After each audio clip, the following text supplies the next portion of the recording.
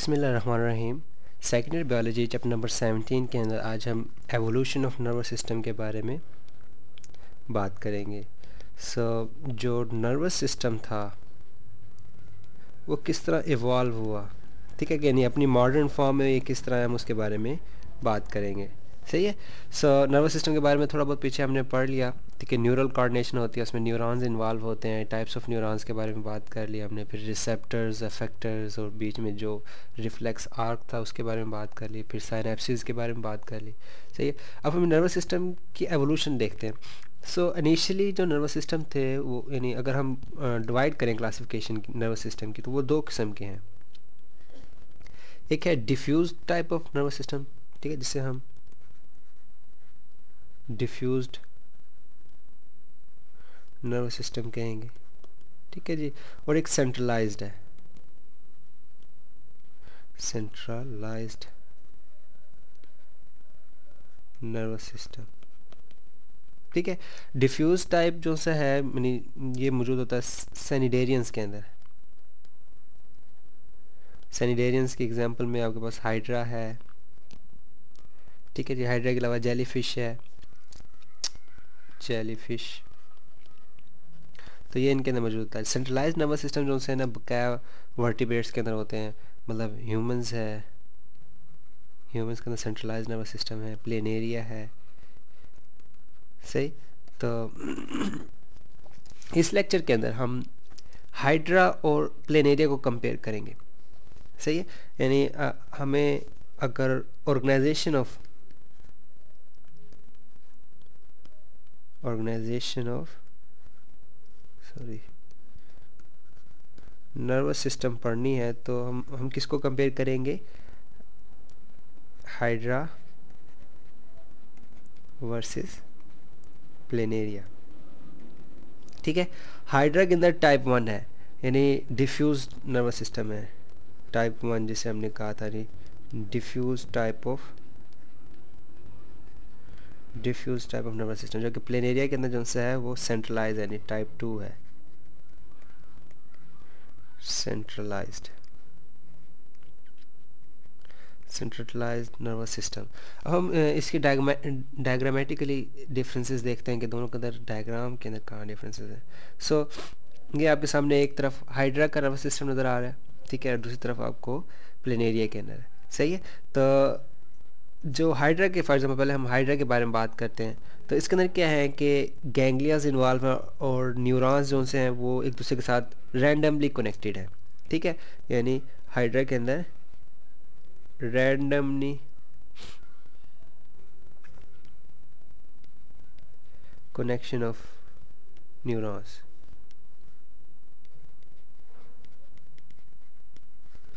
neurons ठीक है जी? उसमें कोई ब्रेन नहीं है। नो ब्रेन सेंट्रल कह लें कि नर्वस सिस्टम उसके अंदर नहीं है, ठीक है? जिसे हम सेरिब्रल पार्ट भी कहते हैं नो नो ब्रेन है, ठीक है? रैंडमली कनेक्शन न्यूरॉन्स है विदाउट एनी ब्रेन यानी सेंट्रल नर्वस सिस्टम इसके अंदर नहीं है। ब्रेन से क्या मरा दें यहाँ पे? सी एन एस इसके अंदर मौजूद नहीं है। सही है? इसके अलावा एक फ़र्क क्या हो गया। सेकंड फ़र्क इसमें क्या नज़र आ रहा है? कि इसके अंदर आप यानी डिफ्रेंशिएट नहीं करते। नो no डिफ्रेंशिएशन है। किस किस चीज़ की बोला? नो डिफ्रेंसिएशन बिटवीन सेंसरी ठीक है जी सेंसरी आप इसमें ये नहीं बता सकते कि सेंसरी न्यूरॉन्स कौन से हैं। Sensory motor and associative neurons ठीक है कि इसके अंदर आप फ़र्क नहीं कर सकते फ़र्क करके बता नहीं सकते कि इसके अंदर सेंसरी न्यूरॉन्स कौन से हैं मोटर न्यूरॉन्स कौन से हैं, और एसोसिएटिव न्यूरॉन्स कौन से हैं। यानी ये डिफ्यूज टाइप है। इसमें कोई टाइप्स ऑफ़ न्यूरॉन्स आप इसमें नहीं बता सकते। सिंपल गैंगलिया होते हैं और रिंग ऑफ़ गैंगलिया बॉडी के हर पार्ट में मौजूद होते हैं। ठीक है? इसलिए इनकी जो एंड पे जो हमारे पास रिस्पॉन्स आएगा रिस्पॉन्स होगा वो इरेगुलर होगा।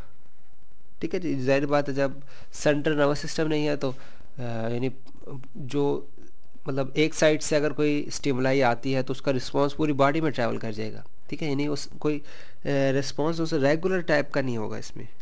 सही? इसके अलावा इसके अंदर no special sensory organs no special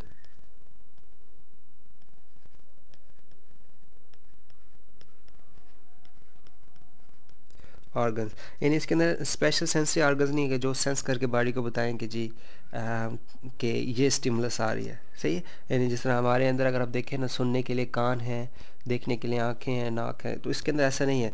तो स्पेशल सेंसरी ऑर्गन्स नहीं है स्पेशल रिस्पॉन्स नहीं आ रहा और डिफ्रेंसीशन भी नहीं है न्यूरॉन्स की और रेंडमली कनेक्शन है न्यूरॉन्स का आपस में। ठीक है? कहीं पे ये मास बना लेते हैं, ठीक है? मतलब माउथ के करीब इसका रिंग ऑफ़ गैंगलिया है।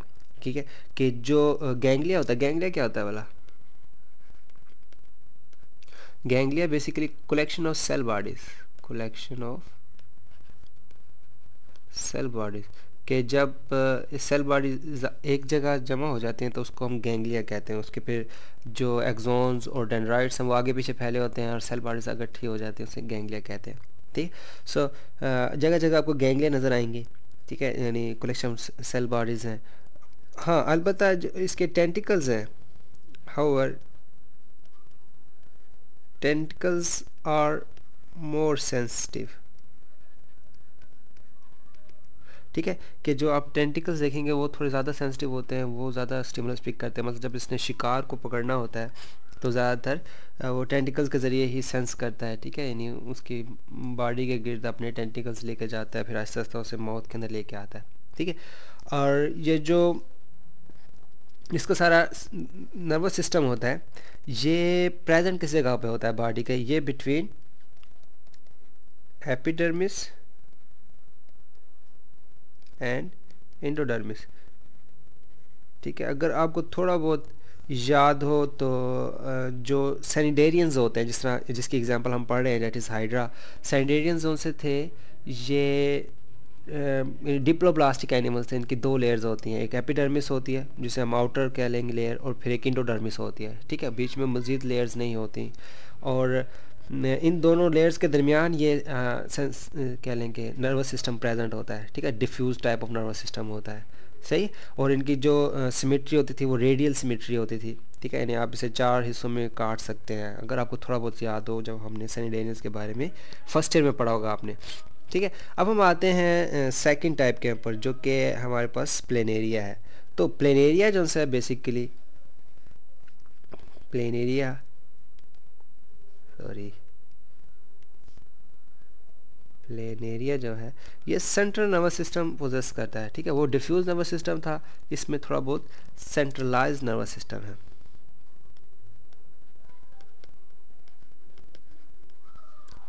जो कि अब एडवांस स्टेज भी कह सकते हैं, ठीक है? सेंट्रलाइज होने से क्या फ़ायदा होगा कि सबसे पहले तो डिफ्रेंसीशन ऑफ़ न्यूरॉन्स होगी।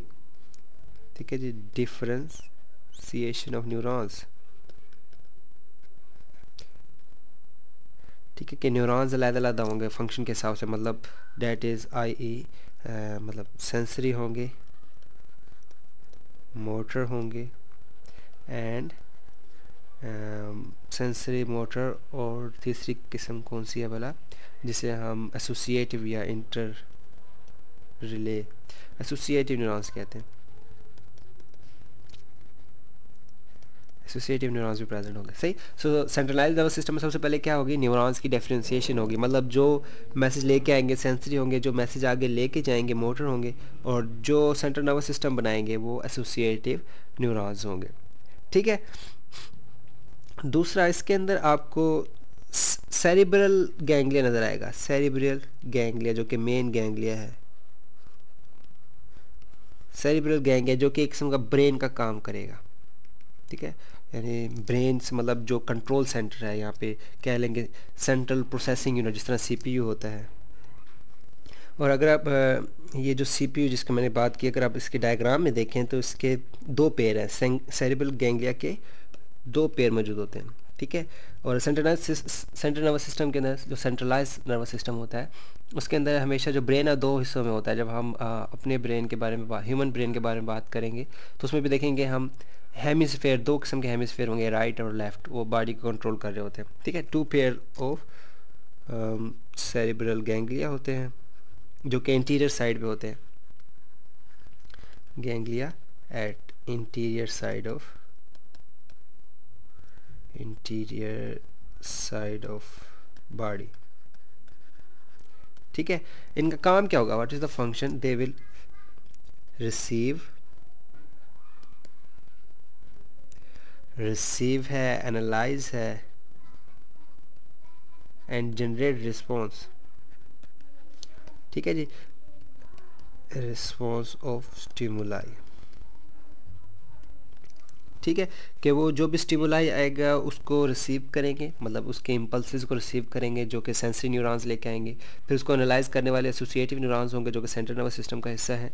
और फिर उसका रिस्पॉन्स जनरेट करके वापस भेजेंगे, जो कि मोटर न्यूरॉन से मैसेज जाएगा। सही? तो सेकंड डिफरेंस ये आ गया कि जो, इसके अंदर ब्रेन लाइक स्ट्रक्चर आपको नज़र आ रहा है, ठीक है? पहले डिफ्रेंसिएशन ऑफ़ न्यूरॉन्स होगी सेंसरी मोटर एसोसिएटेड न्यूरॉन्स फिर उसमें ब्रेन लाइक स्ट्रक्चर थर्ड जो इसमें कहने के डिफरेंस है या कहने की स्पेशलिटी है ये कि इनके जो सेंसरी ऑर्गन्स है वो डेवलप हो चुके हैं। सेंसरी ऑर्गन्स और प्रेजेंट ठीक है जी स्पेशल सेंसरी ऑर्गन्स है। फॉर एग्जांपल आइज़ होते हैं। ठीक है, जो कि किस चीज़ को नोट करेंगी? मेरी आइज़ से आप लाइट की स्टिमुलस को, यानी ये लाइट स्टिमुलाई को रिसीव करेगा। ठीक है? आइस के अलावा इसके स्किन के ऊपर होते हैं chemoreceptors chemoreceptors planaria की स्किन के अंदर होते हैं जो कि कह लें कि इन्वायरमेंट के बारे में इन्वायरमेंट की जो स्ट्रक्चर है केमिकल उसके बारे में ये बताएगा। सही? सो so, यानी इसके अंदर आपको स्पेशल सेंसरी ऑर्गन्स भी नज़र आ रहे हैं ठीक है? जो कि यानी मुख्तु किस्म की स्टिमुलाई को रिसीव करेंगे। ठीक है? और जबकि हाइड्रा के अंदर इस तरह के कोई स्पेशलाइज्ड ऑर्गन नहीं था, जो कि यानी कि जिस तरह मतलब इसके अंदर आँख है आइज़ थी, उसके अंदर नहीं थी। और इसी तरह ये सेंसिटिव होंगे टच एंड प्रेशर के लिए भी, ठीक है? देर आर यानी planaria skin is sensitive for touch and pressure ठीक है? कि यानी इसकी जो सेंसरी सेल्स हैं हाइड्रा के सॉरी प्लेनेरिया के अंदर, वो स्किन के ऊपर जो मौजूद होंगे, वो सेंस करेंगे प्रेशर और टच को भी। यानी यानी कह लें कि इसके अंदर ये केमिकल रिसेप्टर्स हो गए ठीक है? और ये मैकेनिकल रिसेप्टर्स हो गए दोनों किस्म के रिसेप्टर्स के अंदर मौजूद हैं। ठीक है?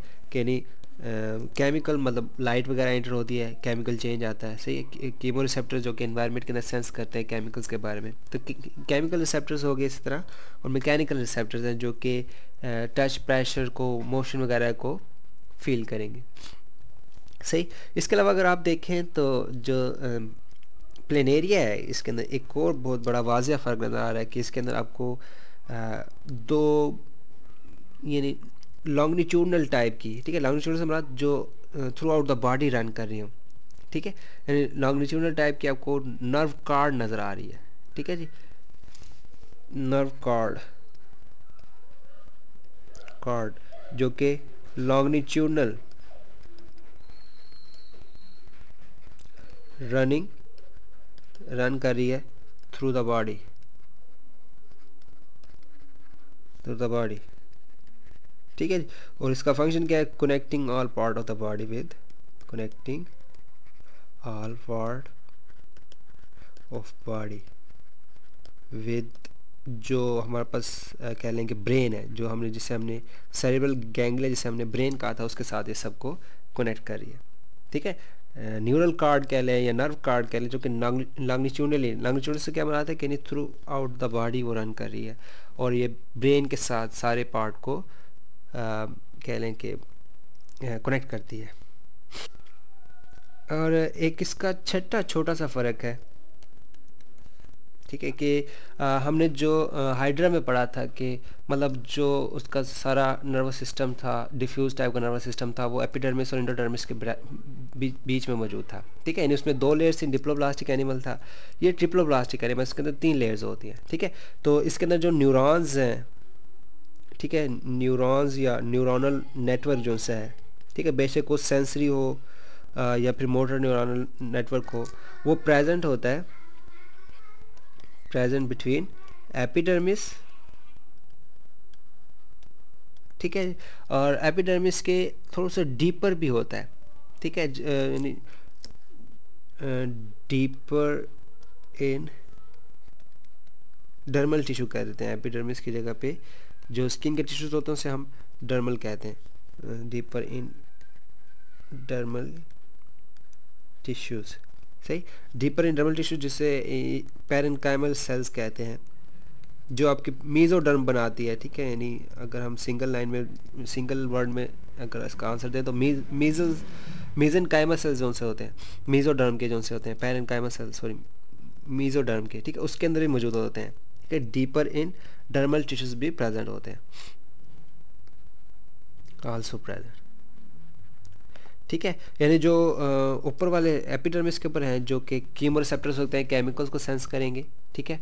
इसके अलावा टच को सेंस करेंगे मोशन को सेंस करेंगे, जबकि जो डीपर है, वो प्रेशर को सेंस करने के लिए यूज़ होते हैं, ठीक है? तो यानी इसमें थर्ड कैटेगरी के अंदर भी रिसेप्टर्स मौजूद हैं, जो कि यानी सिर्फ़ सुपरफिशियल नहीं है, बल्कि थोड़े से अंदर बॉडी के इनसाइड भी मौजूद है। जबकि हाइड्रा के अंदर सारे जो नर्वस सिस्टम का सुपरफिशियल प्रेजेंट था। ठीक है? तो इसमें डीपर डर्मल टिश्यूज़ के अंदर भी आपको रिसेप्टर्स मिलेंगे। सही? सो so, ये एवोल्यूशन ऑफ़ नर्वस सिस्टम के बारे में होगा जिसके अंदर हमने दो टाइप्स पढ़ी। सेंट एक सेंट्रलाइज है और एक डिफ्यूज़ है। फिर हमने देखा कि किस तरह जो सेंट्रलाइज नर्वस सिस्टम है वो किस तरह मॉडर्न है कह लें कि किस तरह उसके ज़्यादा फ़ायदे हैं as compare to diffuse nervous system जिसके हमने एग्जांपल्स एक हाइड्रा की पढ़ी और प्लेन एरिया की। दोनों को कंपेयर किया हमने। और एंड पे हमें जो चीज़ नज़र आ रही है वो ये है कि जो सेंट्रलाइज नर्वस सिस्टम है इट इज़ मोर एडवांस क्यों? क्योंकि इसके अंदर एक तो सीपीयू आ गया यानी सेंट्रल प्रोसेसिंग यूनिट जिसे हम ब्रेन कहते हैं ब्रेन प्रेजेंट है, ठीक है? जो कि बॉडी के तमाम स्टिमुलस को रिसीव करेगा, उसको एनालाइज करेगा, उसके बाद रिस्पॉन्स जनरेट करेगा। स्पेशलाइज रिस्पॉन्स यहाँ पे जनरेट हो रहा है, ठीक है? जबकि पहले में रैंडमली रिस्पॉन्स हमारे पास आ रहा था। So this was all about the evolution of the nervous system यानी अगले लेक्चर्स के अंदर हम फिर ह्यूमन नर्वस सिस्टम के बारे में स्टार्ट करेंगे।